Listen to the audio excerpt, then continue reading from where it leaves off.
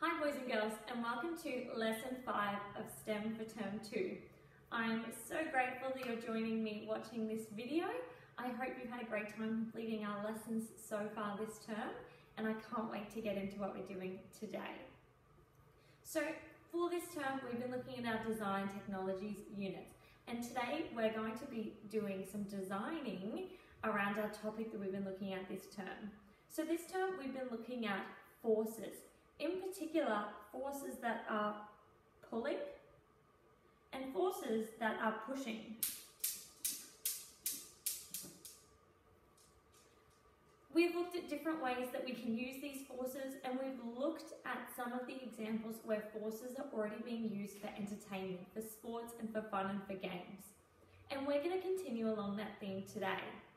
So your task for this week, boys and girls, is to create your own toy that uses a pushing or pulling force. Or your toy might even use both.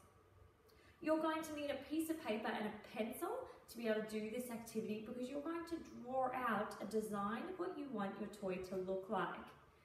Once you've drawn your design, you're going to label all the different parts on it as well and give your toy a name.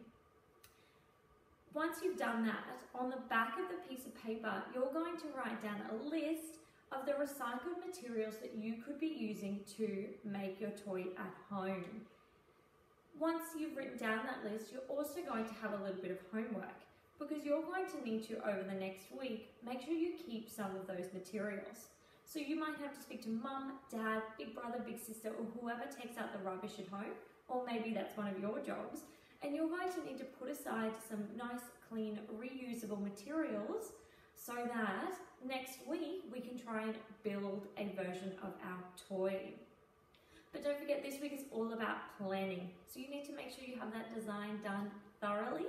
You need to make sure it's very clear so that next week when you come back, you know exactly what you're going to be doing straight away.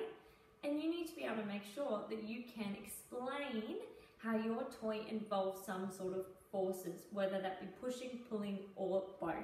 It is completely up to you. I really look forward to seeing all the different designs that you come up with. Make sure you're keeping that piece of paper in a safe place, not only to use when you do your building, but also to get a copy back to me at some point. If you're able to, you can take a photo of that and email it to me or upload it to the OneNote or just make sure you're holding onto it so that when you're back at school shortly, you'll be able to give a copy to me so I can have a look at all the hard work you've been doing at home. Thank you so much for tuning in and watching this video, boys and girls. I hope you've had a great time at home completing these activities. I can't wait to see you when you're back and I can't wait to continue having more fun in our STEM lessons this term. Bye boys and girls.